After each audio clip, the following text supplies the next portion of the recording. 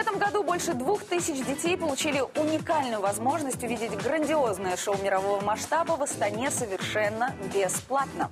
О том, какие еще сюрпризы для малышни приготовили организаторы премии Муз-ТВ-2015 «Гравитация», расскажет Костя Тарасюк.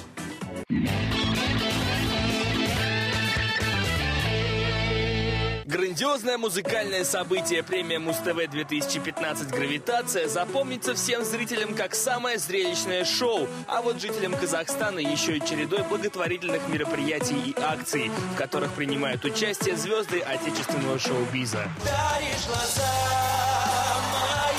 Диана Гурцкая посещает концерт, посвященный слабовидящим детишкам. А вот генеральный директор Муз-ТВ Армандо Влетьяров открывает в городском парке танцевальную площадку для людей с ограниченными возможностями здоровья. Сегодня была замечательная площадка вместе со звездами нашими.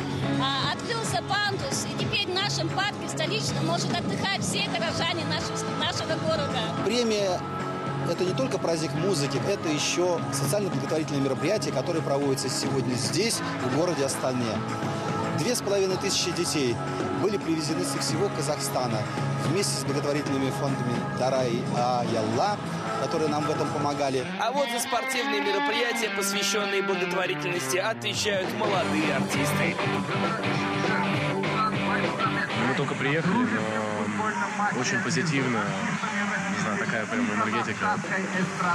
Приятная. Звезды и артисты – это те люди, которые могут э, личным примером э, показать, что э, людям нужно помогать, э, нужно принимать участие в благотворительных мероприятиях. Всячески стараемся помогать, где вещами, где просто каким-то выступлением, где просто подойти и сказать какое-то слово. Это всегда хорошо, это всегда круто. И сейчас мы в Казахстане и занимаемся этим, считаю, это вообще очень И это лишь малая часть благотворительных акций, которые прошли в преддверии премии Муз-ТВ в солнечной Астане. Константин Тарасюк, Григорий Мачульский про новости.